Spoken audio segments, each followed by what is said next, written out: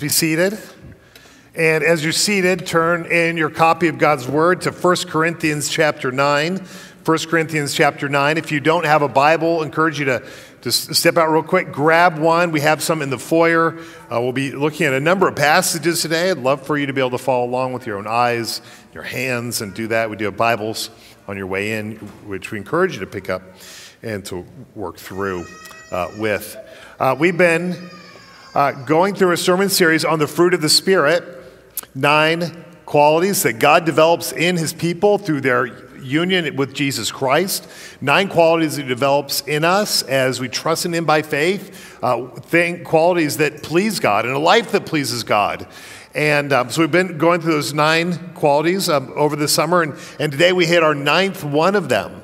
It's not the last one in our series, I have a couple more, but it's our ninth one when it comes to the fruit of the Spirit. And so you might know the nine. You can say them along with me. It comes out of Galatians chapter 5. So if you know them, you might know this. But uh, we know the fruit of the Spirit is love and joy, peace, patience, kindness, goodness, faithfulness, gentleness, and self control. And so today we hit the uh, fruit of self control, and we are going to look at it through Galatians or 1 Corinthians chapter 9 especially verses 24 through 27. So listen to the word of God.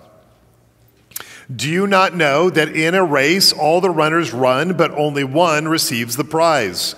So run that you may obtain it. Every athlete exercises self control in all things. They do it to receive a perishable wreath, but we an imperishable.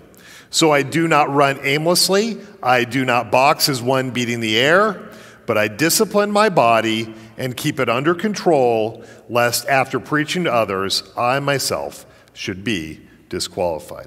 This is the word of our God. Would you pray together with me?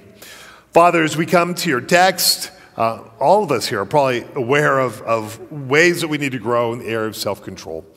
We pray, Father, that as we just take time to meditate and think on it, that you would expose those places, bring them to light, to search us. Father, you'd lead us in a way everlasting, but Father, you would do so in the light of the gospel of grace. And so, Father, direct us as we think through self control, but also as a fruit you're developing through Christ. We ask you for your help in these things. In Jesus' name, amen. Well, uh, maybe you've had a dream or a vision, something, or maybe a job that you had to do, and you realized it was going to take a little bit more than the resources you currently had to invest in it.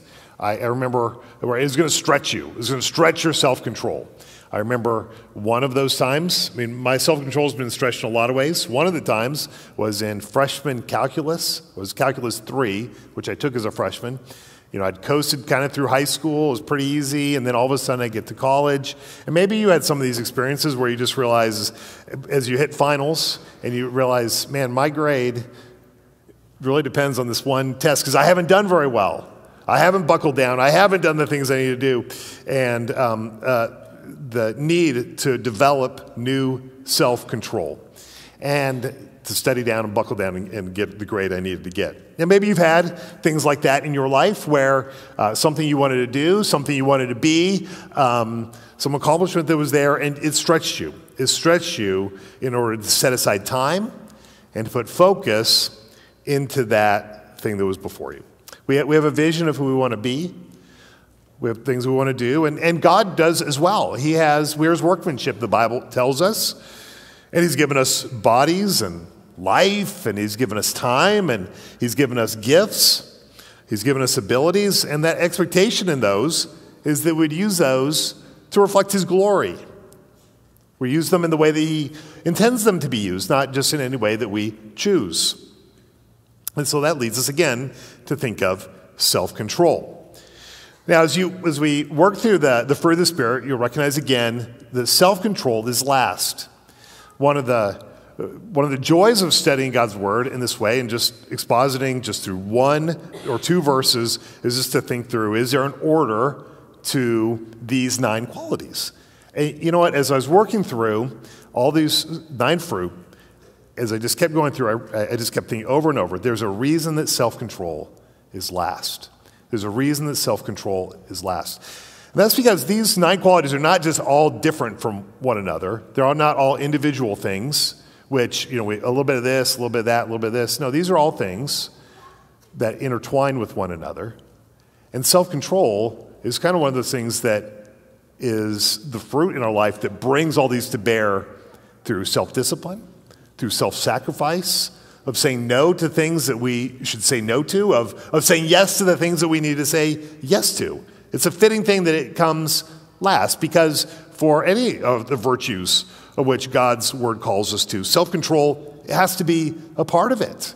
If we're going to cultivate it, develop it, and see it grow inside of our lives. It's like the bow at the end of a, of a nice present. So we're going to stay focused on what God has for us, the gifts, the callings that are before us. We need to think about that fruit of self control. So, what we're going to do is we're going to look at, we have a number of scriptures, so we're going to be jumping all around the Bible. So, keep your fingers ready, um, flip through that or on your screen or whatever is you're going to do. But there are three main ones, and I just highlight that because these are good ones to memorize. These are good ones to think about. If you haven't, if you, if you haven't memorized these scriptures and you deal with some challenge to your own self control, I mean, I'd encourage you take one, take two, take all three of these main verses I'm going to focus on and use those as scripture memory to think through God's call to self control in your life. All right, so the first thing we want to look at is out of Proverbs 25 28. So if you want to turn there, and Proverbs 25 28 stresses the importance of self control. Proverbs 25, 28, it says this A man without self control is like a city broken into and left without walls. There's a movie on Netflix uh, called Operation Mincemeat. Maybe some of you have seen it, or maybe you know the historical story with it. I didn't know it until I saw the, the movie itself. But it's a World War II story. It's the story of the, the British military um, wanting to make an invasion into Sicily and wanting to make a safe invasion of Sicily during World War II. And so, in order to distract the Germans, they concocted a, a scheme. And the scheme was to get them focused on another part of, of Europe so he could safely land there. And so what they did is they, they found a dead body, a dead British body. They dressed him up in a soldier's uniform and they uh, put a note on him, like a note to, to his girlfriend or something. And then they threw him in the water near German water, during, uh, close to some German ships. And so the German ships went and uh, discovered that body that was floating there, found the note, um, read that note, and they eventually, and they deduced, oh, there's going to be a invasion over in this other part of the country, somewhere over in Greece. And so it tricked them. It, it, it, it worked. And so the uh, British were able to get in, and that was part of the, the, the, weakness of the German military plan was things like that. You know, the Bible makes this comparison in, in a, a way of that sort of story. It makes me think of it because it says a man without self control is like a city broken into and left without walls. You know, just as uh, Germany was left um, in, in, their attack plan was left without the defenses they need through this trickery of a plan. So when we don't have self control, we lack the, the, the defenses that we need in our life to protect us against various forms of sin and deception and the lies of the world and the lies of the devil. It's a fitting thing that they use deception in order to get past their defenses. Is the same way that the devil works with us. Lies and deception, that's what the world does to get past our defenses and to work around that self control and to make a wreck of our lives.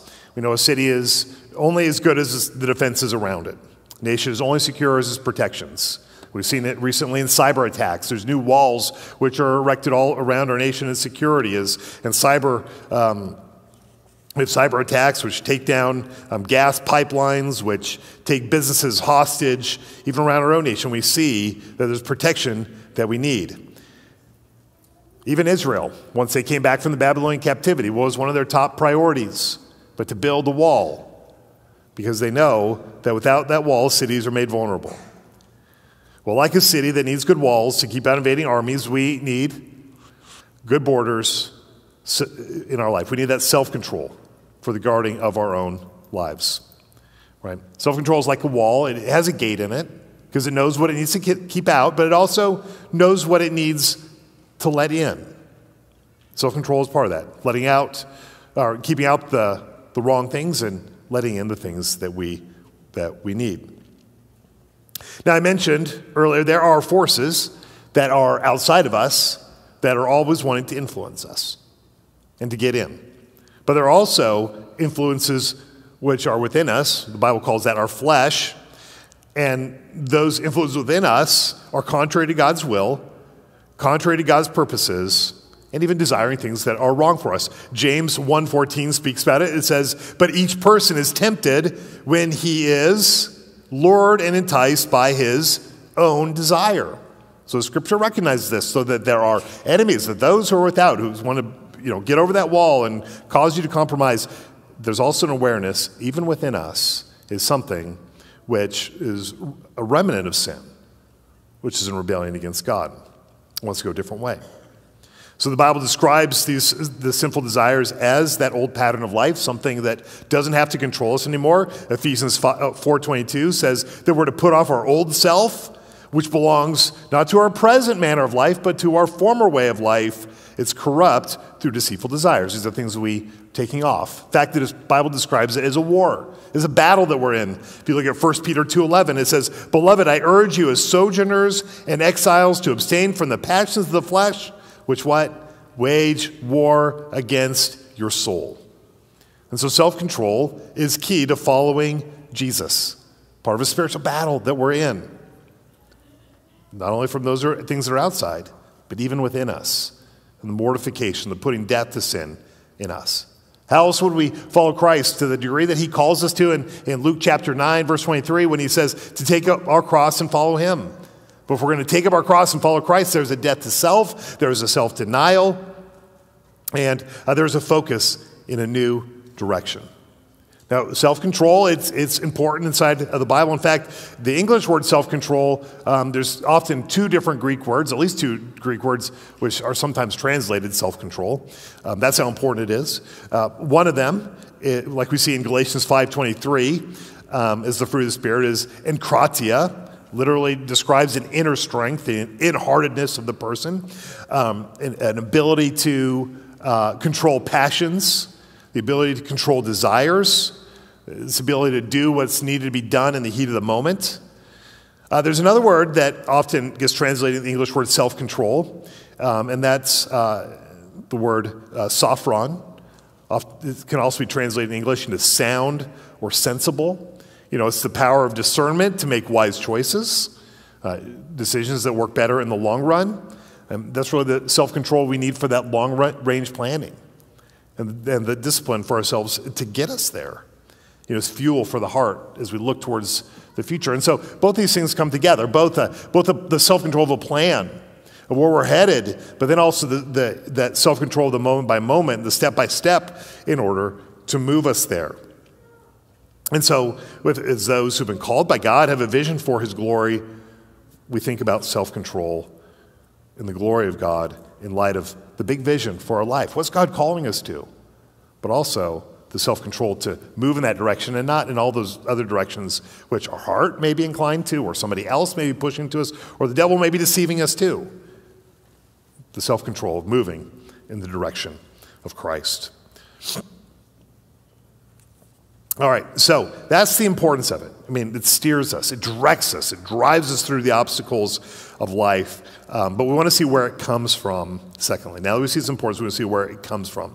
And that's going to lead us to 2 Timothy 1 7, your second memorizing verse of the week. 2 Timothy 1 7. And it talks about the source of self control. Now, when we talk about self control, we're talking about something a little bit different than willpower. I mean, the world loves to talk about willpower, and we're not just talking about willpower. Most of us, I mean, if I talk about self control, most of us think, oh, yeah, you're right, I do need more self control in this area or in that area of my life. And many of us would think about that and recognize it. But when the Bible describes self control, it's not just talking about something like just pull yourself up and, and find that strength within yourself and to, and to will yourself through um, the things that are before you. Will yourself to success. And saying something different than that. And because this is something that comes from God, this is something that comes um, with spiritual power. This is something which is driven by love. This is something which comes from as a personal direction of God Himself. It's a, it's a gift of grace, I would say. We call it a fruit of the Spirit. It's not something, this spiritual power that we gain is not something we're going to find within us, but it comes from a life that is connected and grounded and rooted in God, and especially in Jesus Christ and what He's done. Now, if you look at 2 Timothy 1 7, it says this For God gives the spirit not of fear, but of power and love, and lastly, self control. Not of fear, but of power, love, and self control. Not of fear, not of fear of being condemned by God, not of fear of falling short of what God has uh, promised him, not, not of fear of missing out in this life because if you know Jesus Christ, your guilt is gone. If you know Jesus Christ, you know as you follow and walk with Him, you won't miss out on anything in following Him. You know that He has a perfect plan for you, and you walk in that. You don't live in fear. But you have this, uh, this other spirit, the spirit of power, of love, and self control. We talk about the work of the Holy Spirit, what the Holy Spirit does, He reminds us constantly of what Jesus Christ has done, that He died for you. And that you, in, in your adoption in Christ, you have an inheritance you have eternal life. You have His blessing. You have His love. And so, why not control yourself and let your life be controlled by God Himself? You see, our self control comes from knowing the sovereignty, the control, the love of God and, it, and, and His work in us. It starts off by reminding us there's no fear. What does fear do? Fear causes a lot of the reasons why we lack self control. Fear causes anger. You know, we're afraid something's going to happen. We're afraid of the consequences of the decision. So, in order to avoid that, what do we do? We lash out just to shut it down and make sure that our fears aren't going to be realized. Fear causes us to be lazy. Some people are just lazy because they don't want to make decisions. They're afraid of the consequences of the decisions that are before them. They're afraid of failure. And so they don't do anything or, or, or get out of bed or, or do the things that they need to do that are before them. They avoid trials. Fear can create all kind of habits for us. When we get stressed or worried, what do we do? We eat wrongly. I'm sure you've heard of the term FOMO, right? Fear of missing out. Anybody here ever deal with FOMO beside me? You know, when we see other people doing things um, or experiencing something, and maybe we have other commitments, maybe we have other goals, or maybe we just weren't invited, you know, that we have this fear of missing out, insecurity which is created in us. And, and sometimes it might even cause us to do a course change, even go a different direction, in a direction that we're previously opposed to, just so we can have that same experience. The fear of missing out of something good will cause us to compromise, giving up even our own self control. Fear of missing out causes people to compromise sexually. They're afraid they uh, will not be able to be in a relationship unless they give into that compromise. The person may want to feel good about themselves, may choose to act out sexually through porn or other sexual activities when that opportunity shows up. But the Holy Spirit gives power. We're no longer under uh, the fear of God's condemnation. We're no longer under the sense of fear that sin has to control us. We can live a different way. That's what we have in Christ, right? He has defeated your sin, so you walk in his victory. The Holy Spirit also gives us this, this spirit of love, a bigger vision for our lives than just the fulfillment of our appetites. So, through Jesus Christ, God gives um, a new heart for the lost, the suffering, for the others around us and our neighbor. Self control, then, is a result of being in fellowship with God. It's a result of being under His control. It's being under His word and of knowing the gospel of His love.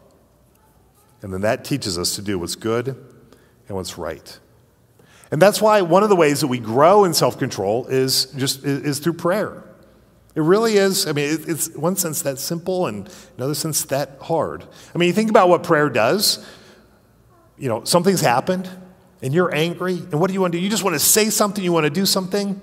But even you just take just that time to pray, guess what you're not doing during that time?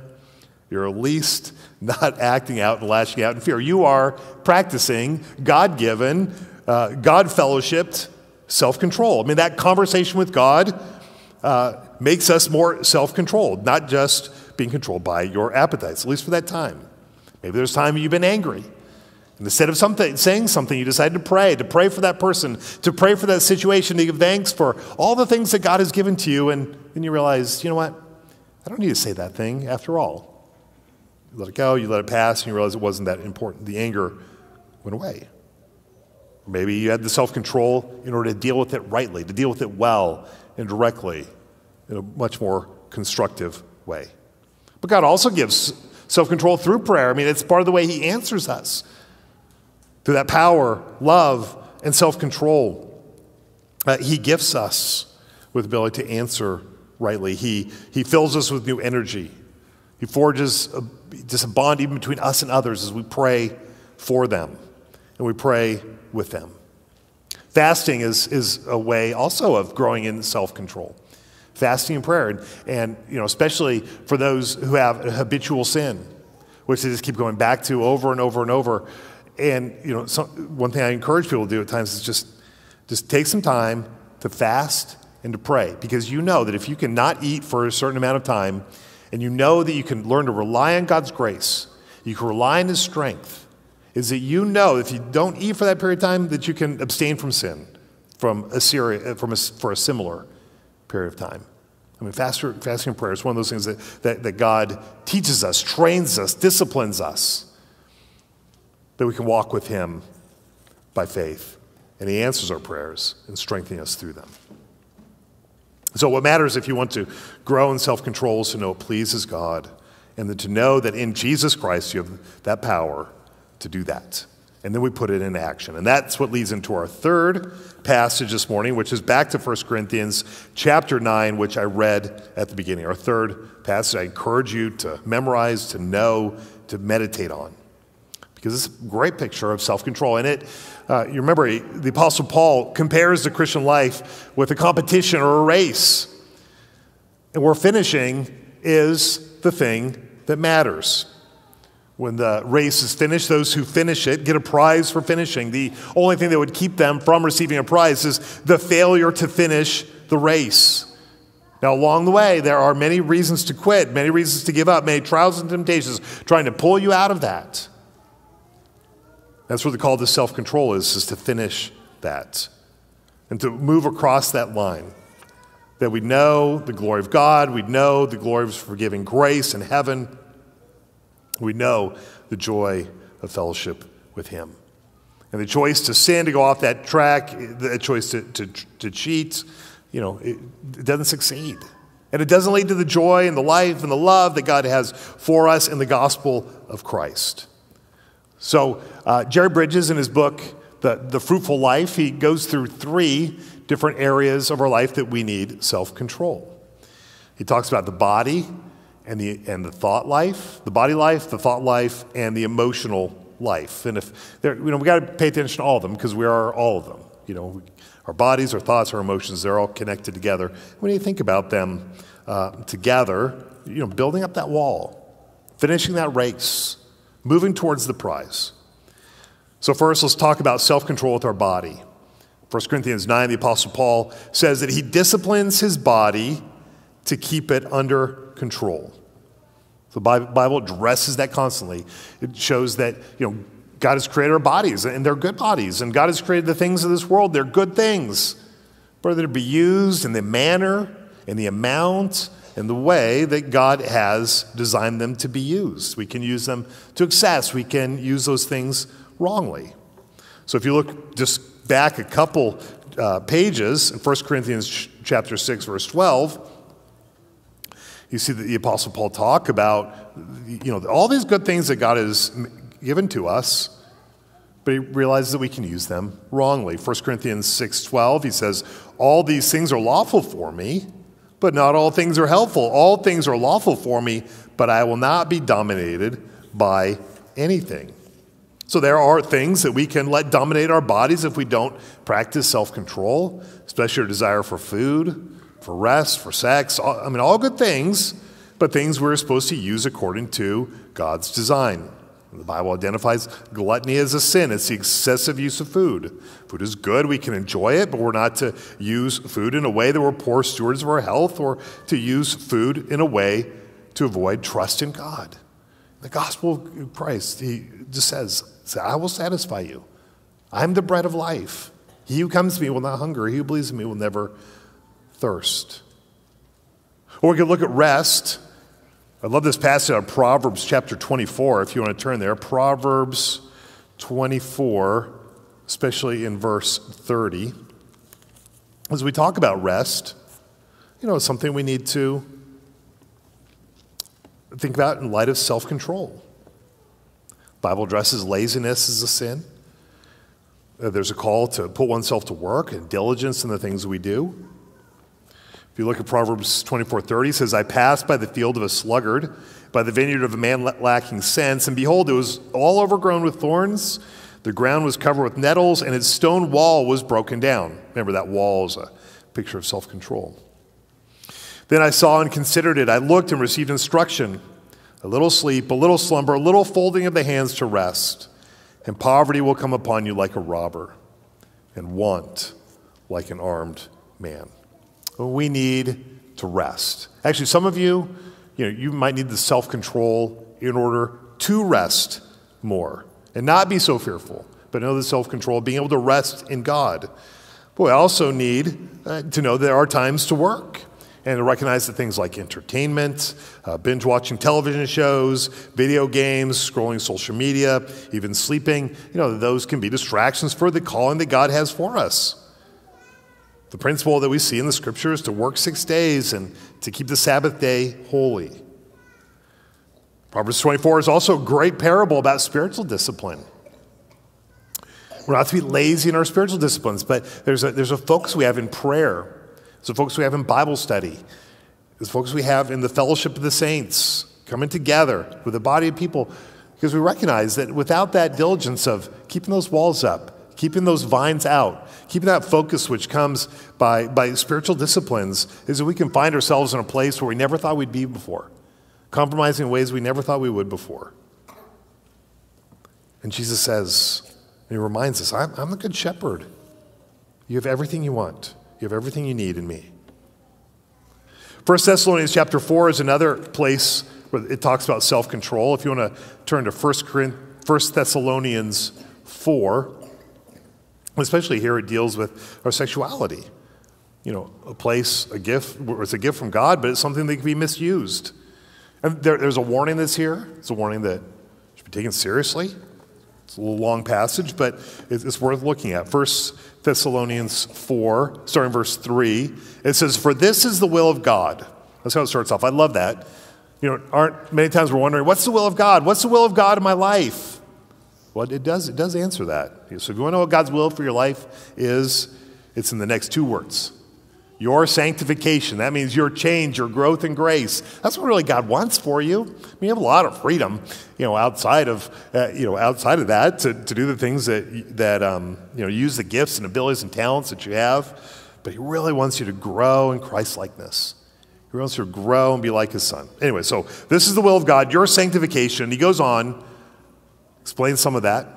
That you abstain from sexual immorality, that each one of you know how to control his own body in holiness and honor, not in the passion of lust like the Gentiles who do not know God, that no one transgress and wrong his brother in the, this matter. See a warning here? Because the Lord is an avenger in all these things, as we told you beforehand and solemnly warned you. For God has not called us for impurity, but in holiness. Therefore, whoever disregards this disregards not man, but God who gives his Holy Spirit to you. So you see, the, the whole example that he uses inside this of a person who knows God is someone who, who controls his battle, bodily desires. The ones who don't know God and they're just let them run amok, just let them go um, in the direction they want. But there is a self discipline which God gives his people as they know him. Hebrews 13 4 reminds us we keep the marriage bed pure, that, that sexuality is, belongs inside of a marriage relationship in a marriage relationship only. Jesus, again, reminding us what He's saved us from, what He's delivered us to, the new life, and the new life He's creating in us. Another place of self control is in our words. We're, we're, careful about what we say, words that build up, that don't tear down, words that are true and good and glorifying to God, words that speak the truth. So, in all those things, rest, food, our bodies, you know, we worship God by self uh, control in those areas. What about our thought life? 2 Corinthians 10:5 says this it says we destroy arguments and every lofty opinion raised up against the knowledge of God and take every thought captive to obey Christ. So that that that, that expression taking every thought captive is an expression of self-control in your thought life. You know, are you a person who lets your, your thoughts run amok? That if you're angry with somebody, you just mull it over and you just let it go and you let it go free? Do you let that bitterness over somebody in your life just continue to grow and grow and grow? Do you let those profanities in your head continue to, to um, you know, mull them over? Do you keep thinking about a sin and considering it for yourself? Do you think evil thoughts about yourself or about your fears? Jesus says, Will you believe what I've done for you? Will you see what I've done for you? Will you look to those things as well instead? Philippians 4 8 instructs us on what we ought to be thinking about when it says, Finally, brothers, whatever is true, whatever is honorable, whatever is just, whatever is pure, whatever is lovely, whatever is commendable, if there is any excellence, if there is anything worthy of praise, think about those things. And so are we letting, you know, through the two gates into our mind, right? We have two gates, right? It's our eyes and our ears. You know, those are the gates into our mind, into our thinking. You know, what are we letting through those gates? Part of self control is staying away from those evil influences, whether it's pornography, inappropriate music, or movies, or books, or unbiblical advice on social media, is considering what am I letting in? But what do we do let in? Scripture, memorization of Scripture, God's Word, praying about it, listening to hymns. Christian music helps you thinking about God. Speaking good words to others is a way that we do it as well. All right, so we've done our body life, our thought life. What about our emotions? You know, God speaks about the control of our emotions. If you look at Proverbs 16 uh, 32, you know, it says something about anger there, which really can be described of any of our emotions, right? It says, Whoever is slow to anger is better than the mighty, and he who rules his spirit than he who takes a city. Are you able, you know, there's a call for us to rule our spirit. And he says, you know, that all these, you know, economic or military or these other successes a person may have, you know, there's something that's even more difficult in ruling your own spirit. Right? So whether that's anger, rage, bitterness, resentment, or even self pity, you know, there is a call to keep our emotions under the control of the Holy Spirit. Even in times of depression and loneliness, we, we can't let our emotions run rampant. And if we find that our emotions are leading us places where we ought not to go, we need to get help for that, whether it's in getting counseling, talking to a friend, you know, adjusting our lifestyle to help to deal with those things. The big question for us, ultimately, with all these things, whether it's our body, our thoughts, our emotions, is we're willing to give up the fleeting pleasure of sin to live a life that honors God? So, part of obedience to God is keeping ourselves away from places of temptation. And that's why our friendships are important. The, the body of Christ is critical. A band of brothers, a band of sisters who, who, um, who are, are walking contrary to the world. Um, those who won't let the world disqualify them. You know, th- those relationships are so important. And the need to pray. We see what Jesus has provided for us in his body to walk in self control. But we need to get back to the reason for having self control and discipline. You know, we saw in the first point that there's damaging decisions that we can make when we are negligent in self control, but, but there's something more that we want. And we saw that in 1 Corinthians 9. And, and that something more is, is the gospel it's God's love, it's joy, it's God's kingdom. Right? We want to love others with the love that God commands us to have when we discipline ourselves for the sake of others. You know, sometimes we discipline ourselves financially to live on less. You know, why? Why we might have the self control to live on less, so we open up opportunities for our, our, you know, better family relationships, better connections there. maybe giving to building God's kingdom. People have that self control in terms of the use of the internet because they say, you know what, I don't want to fall into any sin in this area, so I put filters on it and I, I have accountability so that I can work through that. And so, you know, I, I don't fall in that area. But, you know, it's encouraging to see how, you know, God's people are practicing self control in order they can go after God. And they go after God in love so they can go serve other people. They're a matter of joy. We want the joy that God has promised in the gospel, and, and sin and evil, they, they take away the joy of knowing God and of seeing his provision. You know, it might seem to build a little bit of happiness, at least for a short period of time, but in the long run, it doesn't bring the joy that we want. So there's a greater love, a greater uh, joy which, which, which drives us forward towards the self control.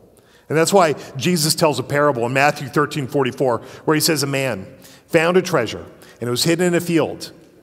And in his joy, what he did is he goes back and he buries that treasure, and in his joy, he sells all that he has. I mean, he doesn't do it unwillingly, he doesn't do it uh, reluctantly or hesitantly. In his joy, he sells all that he has.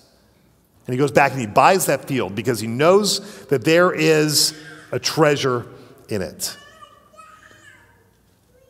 That's the gospel of grace, of your forgiveness, of your inheritance, of the life that has been purchased for you in Christ. There is love and there is joy and there is peace in what Jesus has done in his death on the cross. And if we want to talk about self control, we think about him first. Think about the intentionality. Think about the self control that he had in coming in this world, marching to Jerusalem in order to die on the cross for you. Think about the self control that he had in bearing your sins upon the cross.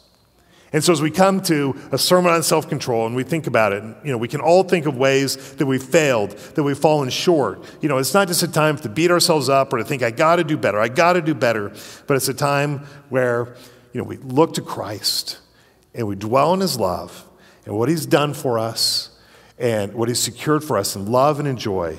And as we delight ourselves in that, as we sing about it, as we, as we focus our hearts and our minds on it, self control becomes something that's much more natural.